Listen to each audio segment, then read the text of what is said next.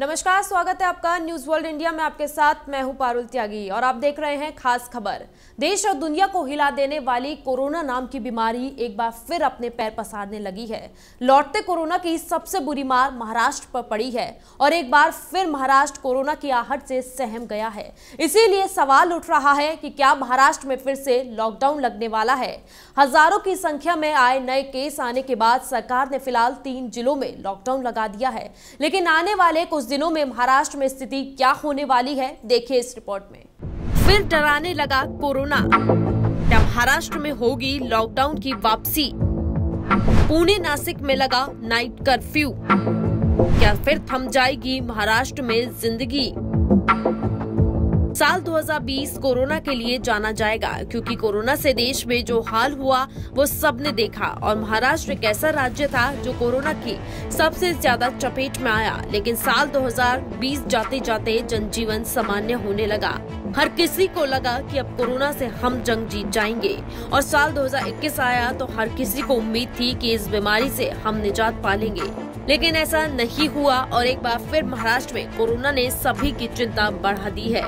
जी हाँ महाराष्ट्र के कई शहरों में कोरोना के केस तेज़ी के साथ बढ़ रहे हैं और इन बढ़ते केसों ने हर किसी को सोचने पर मजबूर कर दिया है कि क्या महाराष्ट्र में फिर से लॉकडाउन लगेगा।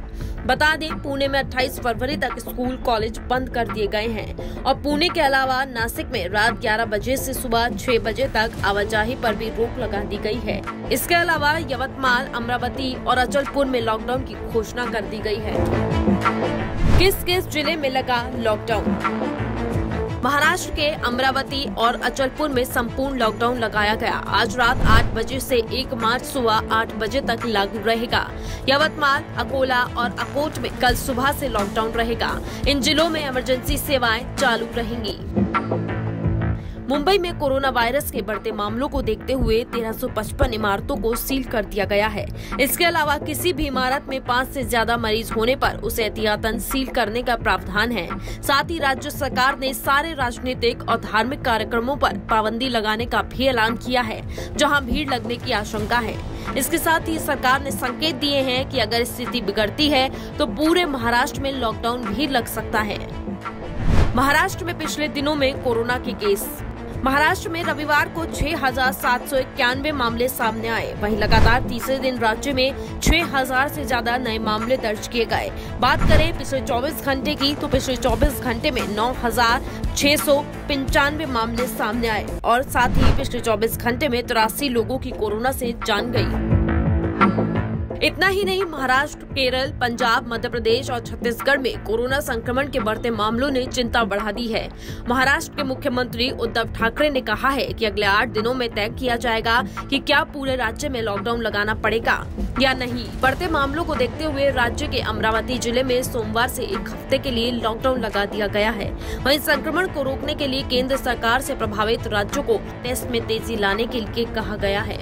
इधर बढ़ते मामलों की वजह से भारत एक बार फिर दुनिया के उन पंद्रह देशों की सूची में शामिल हो गया है जहाँ कोरोना के सबसे ज़्यादा एक्टिव केस हैं। मतलब ऐसे मरीज़ जिनका इलाज चल रहा है, बाकी या तो ठीक हो चुके हैं या फिर उनकी मौत हो गई है। भारत इस सूची में पंद्रहवें नंबर पर पहुँच गया है। 30 जनवरी को पुर्तगाल, इंडोनेशिया और आयरलैंड को पीछे छोड़ते हुए सत्रहवें नंबर पर पहुँच गया था। तब उम्मीद थी कि जल्द ही दुनिया के टॉप 20 संक्रमित देशों की सूची में से बाहर हो सकता है।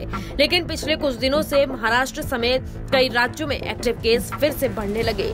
इसकी वजह से भारत अब फिर दुनिया के सबसे संक्रमित देशों में शामिल हो गया है। Bureau report, news world India.